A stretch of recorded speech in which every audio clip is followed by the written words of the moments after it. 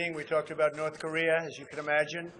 Uh, We're very much in agreement. I think we're very unified, and we have been right from the beginning. This is something that has to stop. We all feel that very strongly. I will be speaking to President Xi tonight uh, from China, and uh, we've been working very closely with China and with other countries.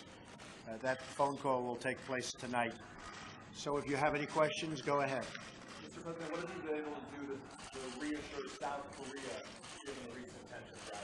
Well, I think as far as reassurance, they probably feel as reassured as they can feel. Certainly, they feel more reassured with me than they do with other presidents from the past, because uh, nobody's really done the job that they're supposed to be doing. And that's why we're at this horrible situation right now. And it is a very bad situation. It's a very dangerous situation. And it will not continue, that I can tell you. So I think South Korea is very happy, and you don't mention Japan, but I think Japan is very happy with the job we're doing. I think they're very uh, impressed with the job we're doing, and uh, let's see how it turns out. Were you being sarcastic when you thanked Vladimir Putin for expelling 755 diplomats from Russia? In order to reduce our payroll, absolutely. I think you know that. What I think you you know that. We'll see. Uh, in fact, uh, I was just speaking to. I was just speaking to the secretary, and we're talking about coming up with an answer. When, Rex? Tell me. by September 1st. By September 1st, we'll have a response. But we have reduced payroll very substantially. Yes. Mr. President, a lot of Americans are on edge with this, with this rhetoric going back and forth between the United States and North Korea. What can you tell them? What, what you think tell them? You know what I can say? Hopefully it'll all work out. Okay? Nobody loves a peaceful solution better than President Trump, that I can tell you. Hopefully it'll all work out. But this has been going on for many years. Would have been a lot easier to solve this years ago before they were in the position that they're in. But we will see what happens. We think that lots of good things could happen, and we could also have a bad solution. But we think lots of good things can happen. What would be a bad solution, sir? I think you know the answer to that. But tell us more, President, please, when you say bad solutions, are you talking about war? Is this another war? I think you know the answer to that. Is Iran abiding by the nuclear agreement in your view? Well, we have uh, some pretty strong opinions, uh, but I would say that they are certainly not uh, abiding by the spirit of the agreement. And I'd go for, you know, really a further step. But I would say that the spirit of the agreement Iran is not abiding by. Absolutely. Staying in that region, do you have the right generals in place right now the fight in Afghanistan? Well, we're going to make a determination, Peter, in a very short period of time as to Afghanistan. I've been looking at it. It's our longest war in history, 17 years. That's unacceptable. We will be making decisions, as you know very well. We're looking at that very closely. Uh, we talked about it a little bit today. We talked about Venezuela today also, by the way. Uh, Venezuela is uh, a mess. It's a very dangerous mess and a very sad situation. But we talked about Venezuela also. We're a couple, we're a couple weeks into General John Kelly's time as your chief of staff. What have you done differently? What has he done to change the way you act, perhaps in the way that your White House acts? Well, I think General Kelly has done a fantastic job. He's a respected person, respected by everybody. Uh, things have come together very nicely. And I have to say, I think probably, and I've gone through this a lot, but I think very, very few presidents have done what we've done in a six-month period. Whether it's optimism in business, whether it's a stock market, whether it's picking up $4 trillion in value with companies and equity, whether it's uh, all of the many things, including a Supreme Court justice, uh, regulations being cut massively. We have, I think it's 48 bills being passed in the legis, I'm talking about legislature, not just executive orders. I think few have done anywhere near what we've done. And we'll work now on tax reform cuts. We'll never, we'll never stop working on, as you know, health care. That's also working, and we're working on other things, uh, including infrastructure. We're going to have a very big infrastructure bill. So I think nobody's done, very rarely could I say that anybody's done. I'm not sure that anybody's done what we've done in a six-month period. Uh, But I think that General Kelly has brought a a tremendous, uh, he's brought something very special to the office of chief. I call him chief. Uh, He's a respected man. He's a four-star from the Marines, and he carries himself like a four-star from the Marines. And he's my friend. which is very important. Mr. President, a number of Republican senators have uh, rushed to defense of Senator here, Senator Leader McConnell in the last day or so. Uh, What do you make of that? Have you reached out? I don't make anything of it. We should have had health care approved. Uh, He should have known that he had a couple of votes that turned on them, and that should have been very easy to handle, whether it's through the fact that you take away a committee chairmanship or do whatever you have to do. But what happened, in my opinion, last week is unacceptable.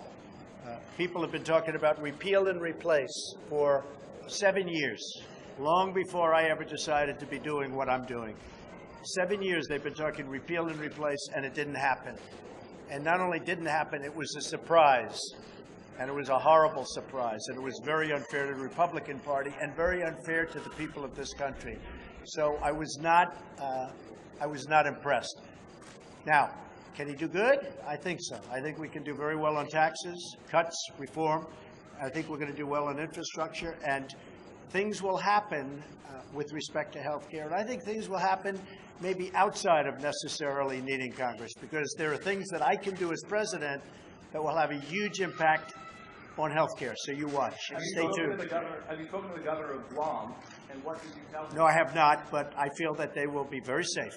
Believe me, they will be very safe. And if anything happens to Guam, there's going to be big, big trouble in North Korea. Have you ordered any change in our military readiness? I don't want it to say I, that. I just I don't talk about that. You know that. I'm not one. I'm not one that says we're attacking Mosul in four months. Okay, we do it or we don't do it. Yes. You're, you're interrupting your trip here to return to Washington on Monday. Can you tell us why you're doing that? Well, this isn't really for me a trip. You know, I stay out of Manhattan because it's so disruptive to go to Manhattan. Now, I will be going on Sunday night. I have meetings on Monday and Tuesday going to Manhattan. But I stay out because it's so disruptive. You know, all of my life, I mean my adult life, because I grew up in Queens, not in Manhattan. But during the time that I lived in Manhattan, whenever a president came in, it was very disruptive. And I think I'm probably more disruptive than any of them. So when they have to close Fifth Avenue, when they have to close 56th Street and many other streets, so I'm here for that reason. We're doing a tremendous amount of work. We're having, you know, large numbers of meetings, and I'm on the phone a lot. But I'm here for that reason. I just don't, I would love to go to my home in Trump Tower, but it's very, very disruptive to do. So when's your trip to Washington on Monday?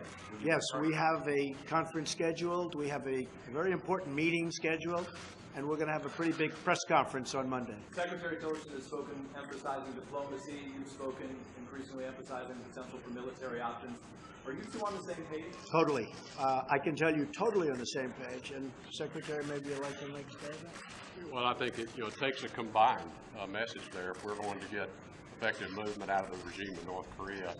I think the president's made it clear he, he prefers a diplomatic solution. I think he responded to that in effect just a moment ago. And so I think what the president's doing is trying to support our efforts by ensuring North Korea understands what the stakes are. Speaking of, speaking of the State Department right now, these recent acoustic attacks we've learned about regarding diplomats, American diplomats in Cuba. Who's responsible for the acoustic attacks? Is it Cuba? Is it Russia? Who's to blame for that?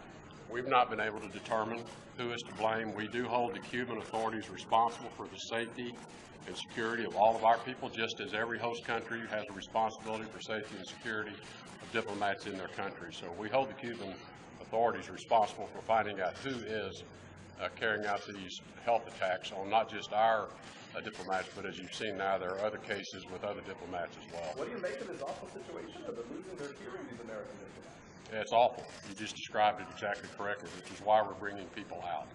Tell us what you're considering for Venezuela, what options are on the table right now to deal with that? We have many options for Venezuela. And by the way, I'm not going to rule out a military option. We have many options for Venezuela.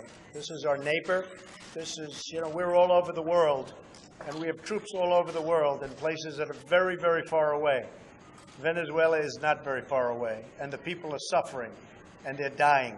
We have many options for Venezuela, including a possible military option if necessary. That would be U.S. led, President? Say? That would- that would be a U.S. led military operation? We don't talk about it, but a military operation and military option is certainly something that we could pursue. We heard, we heard from North Korean state TV saying, we consider the U.S. no more than a lump which we can beat to a jelly anytime. Well, let me hear uh, let me hear others say it, because when you say that, I don't know what you're referring to and who's making the statement. From Russia to But let me hear Kim Jong-un say it, okay? He's not saying it.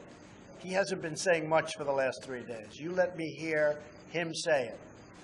Mr. President, do you support regime change in North Korea or in Venezuela? Do you think those regimes? Uh, I, I don't want to comment because I think they're very different places, so I don't want to comment. Uh, But uh, I support uh, peace, I support safety, and I support having to get very tough, if we have to, to protect the American people and also to protect our allies. Do you think your vice president will be a candidate for president in 2020?